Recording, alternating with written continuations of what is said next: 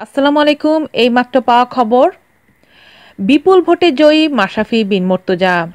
একাদশ জাতীয় সংসদ নির্বাচনে নড়াইল দুই আসনে বিপুল ভোটে জয়ী হয়েছেন আওয়ামী লীগের মনোনীত প্রার্থী বাংলাদেশ ক্রিকেট দলের অধিনায়ক মাশরাফি বিন মর্তুজা। রোববার তিরিশে ডিসেম্বর রাতে জেলা প্রশাসক ও জেলা রিটার্নিং অফিসার আঞ্জুমান আরার পক্ষে অতিরিক্ত জেলা প্রশাসক কাজী মাহবুবুর রশিদ বিষয়টি জানান। কাজী মাহবুবুর রশিদ জানান, নৌকা প্রতীক নিয়ে মাশরাফি পেয়েছেন দুই লাখ একাত্তর হাজার দুশো দশ ভোট। তার প্রতিদ্বন্দ্বী ঐক্যফ্রন্টের মনোনীত প্রার্থী এনপিপির একাংশের চেয়ারম্যান অ্যাডভোকেট ফরিদুজ্জামান ফরহাদ ধানের শীষে পেয়েছেন সাত হাজার আটশো তিরাশি ভোট।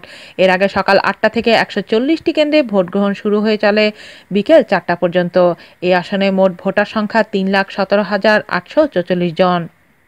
এর মধ্যে নারী ভোটার এক লাখ ষাট হাজার ছিয়াত্তর জন এবং পুরুষ ভোটার এক লাখ সাতান্ন হাজার একশো আটত্রিশ জন।